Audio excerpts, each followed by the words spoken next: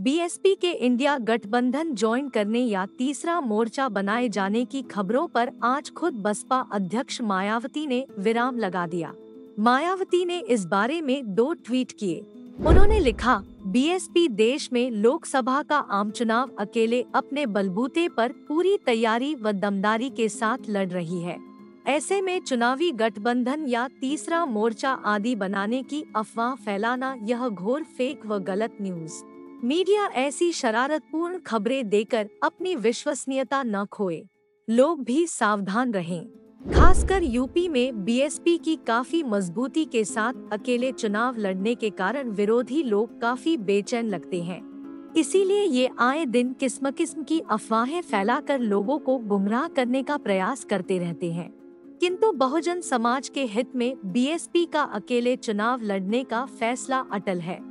इससे पहले मायावती को लेकर कहा जा रहा था कि वह कांग्रेस के साथ गठबंधन कर सकती हैं और इंडिया गठबंधन उन्हें पीएम पद का उम्मीदवार घोषित कर सकता है। सियासी गलियारों में चर्चा थी कि मायावती कांग्रेस से हाथ मिला सकती है और उनकी पार्टी यूपी के अलावा अन्य राज्यों में भी गठबंधन को लेकर साथी की तलाश में है। ऐसा इसलिए भी कहा जा रहा था कि पिछले लोकसभा चुनाव के दौरान मायावती ने अकेले दम पर चुनावी अखाड़े में उतरने का फैसला किया था, लेकिन बाद में सभी को चौंका दिया था।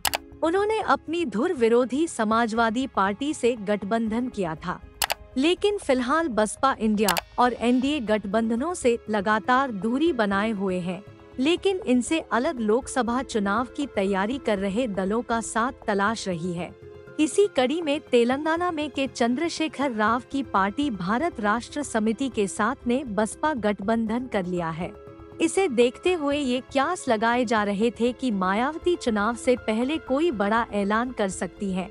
लेकिन फ़िलहाल उन्हें साफ़ कर दिया कि वो ना ही तीसरा मोर्चा बना रही है और ना ही किसी गठबंधन में शामिल हो रही है। हालाँकि वो पहले ही कह चुकी है कि वो अकेले चुनाव लड़ेंगी। जहाँ मैं ये बात भी फिर से स्पष्ट कर देना चाहती हूँ कि हमारी पार्टी देश में जल्दी ही घोषित होने वाले लोकसभा के ये आम चुनाव, यहाँ गरीबों एवं उपेक्षित वर्गों में से विशेषकर दलितों, आदिवासियों, अति पिछड़े वर्गों, मुस्लिम व अन्य धार्मिक अल्पसंख्यक समाज के लोगों के बलबूते पर ही पूरी तैयारी व दमदारी के साथ अकेले ही लड़ेगी। और इन्हीं के बलबूते पर ही हमने सन 2007 में यहाँ आबादी के हिसाब से देश के सबसे बड़े प्रदेश, उत्तर प्रदेश में अकेले ही चुनाव लड़कर फिर अपनी पार्टी की पूर्ण बहुमत की सरकार भी बनाई थी। इसलिए अपने इस अनुभव को भी खास ध्यान में रखकर हमारी पार्टी लोकसभा के ये आम चुनाव अकेले ही लड़ेगी। तथा देश की जातिवादी, पूंजीवादी, संकीर्ण व सांप्रदायिक सोच रखने वाली सभी विरोधी पार्टियों से अपनी दूरी बना के रखेगी। लेकिन सब जानते हैं कि राजनीति एक ऐसा क्षेत्र है जहाँ कभी भी कुछ भी हो सकता है।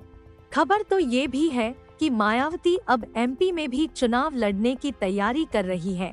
और मध्य प्रदेश की सभी लोकसभा सीटों पर बसपा अपने कैंडिडेट उतारेगी ऐसे में विरोधियों की मुश्किलें बढ़ने वाली है आप मायावती के अकेले चुनाव लड़ने के फैसले को कैसे देखते हैं कमेंट करके अपनी राय हम तक ज़रूर पहुंचाएँ। इस वीडियो को अन्य लोगों के साथ शेयर करें और द न्यूज़ बीक को सब्सक्राइब करना ना भूलें। वीडियो के अंत में एक छोटी सी अपील साथियों, अगर आपको द न्यूज़ वीक का काम पसंद है और आप चाहते हैं कि हम यूँ ही अम्बेडकरवादी पत्रकारिता करते रहें तो हमारी आर्थिक मदद ज़रूर करें।